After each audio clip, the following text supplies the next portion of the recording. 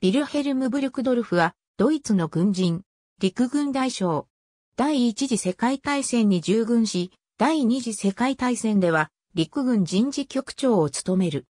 1945年5月2日に、陸軍参謀総長のハンス・クレープス大将と共に、総統地下号に泊まり自決。第一次世界大戦勃発後の1915年に、主管候補生として、ドイツ陸軍第12敵団兵連隊に配属された。戦艦機は主に副官として務め、1930年に大尉に昇進する。1935年に陸軍士官学校の戦術教官を務め、1937年にアドルフ・ヒトラーの信任を得て、第9軍団副官に任命される。1938年に中佐に昇進し、1940年5月から1942年の4月まで第529不評連隊長を務め独ソ戦にも従軍、騎士十字章を授与される。同月にドイツ陸軍人事局第2部長に任命され、10月に少将に昇進し、人事局次長に任命される。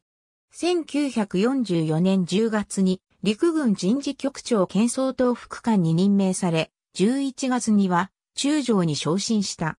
ブルクドルフは忠実にヒトラーに仕え、7月20日事件ではエルンスト・マイゼルと共に容疑者として疑われたエルビン・ロンメルの自殺強要の死者として派遣された。ロンメルは家族の安全を保障させて自殺を承諾し、二人から受け取った毒を飲んで自殺した。ビルヘルム・カイテルの証言によると、これは国民の人気が高いロンメルを人民法廷で見せ物にすることで国民の士気が下がることを危惧しての処置だったという。1945年4月24日に総統地下号で行われた作戦会議ではヒトラーに対しフェリックス・シュタイナーの進撃を断念するように言ったが断られた。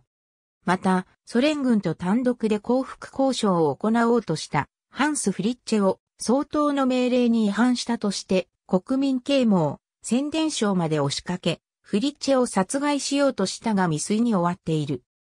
4月28日に、ハインリヒ・ヒムラーが連合国と独断で和平交渉を行おうとしていたことが発覚し、ヒトラーはヒムラーの側近であるヘルマン・フェーゲラインを裁くため、ブルクドルフ、ハンス・クレープス、ヨハン・ラッテンフーバー、ビルヘルム・モーンケを臨時軍事法廷の判事に任命した。しかし、フェーゲラインは、泥酔状態で泣きわめきようとするなどしたため、モーンケの主張を受けて、裁判は中止され、フェーゲラインは、ラッテンフーバーに引き渡された。その後、フェーゲラインは、ペーター・ヘーグルにより処刑された。4月29日、ヒトラーの政治的遺書の立ち会い人として、クレープス、ヨーゼフ・ゲッペルス、マルティン・ボルマンと共に署名した。ヒトラーの自殺後、地下壕からは脱出者が相次いだが、ブルクドルフは地下壕に残り、5月2日に地下壕の倉庫でクレープスと共に自殺した。二人の遺体は地下壕に突入したソ連軍により発見された。ユンカー出身ではなく、最後までヒトラーとナチズムに忠実な将軍であり、自らもそれを誇りにしていた。しかし、地下壕で最後の日々を送る中、ナチ党官房長のボルマンに向かって、若き将兵は、総統と国家のために死んだのか。いや、あなたのためにだと、今までの鬱積した感情を爆発させ、特に私服を肥やすナチス幹部の腐敗を非難した。シュラン癖が激しかったらしく、総統地下壕でも暇を見ては酒を飲んで酔いつぶれていたという。ヒトラー最後の12日間、ユストゥス・フォンド・ホナーニが演じた。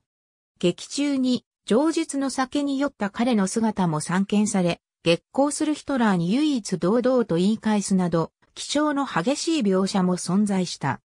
上述のボルマンを批判するシーンも撮影されており、映画本編では使われなかったものの、メイキング映像として収録されている。ありがとうございます。